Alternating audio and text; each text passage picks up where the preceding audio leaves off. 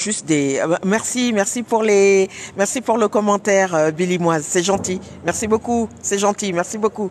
Merci Billy Moise euh, sur Instagram. La, kleptomanie n'est pas n'est pas n'est pas ce n'est pas du vol, c'est en fait une pathologie. qui est prise en charge, etc. Donc il faut en parler. Il faut pas avoir honte parce que c'est ça. hein, les personnes sont souvent euh, euh, pétries de honte, etc. On n'ose pas trop en parler, alors que non. Euh, si vous sentez que c'est un, euh, c'est un, c'est un, c'est un problème qui vous pourrit la vie, qui vous rend malheureux, qui vous, euh, qui rend euh, votre estime de soi égale euh, à zéro, il faut consulter donc un, un spécialiste. Faut pas, voilà, parce que c'est vrai que comme dans, dans, dans la société, la kleptomanie est associée au vol, il y a les conséquences derrière, c'est-à-dire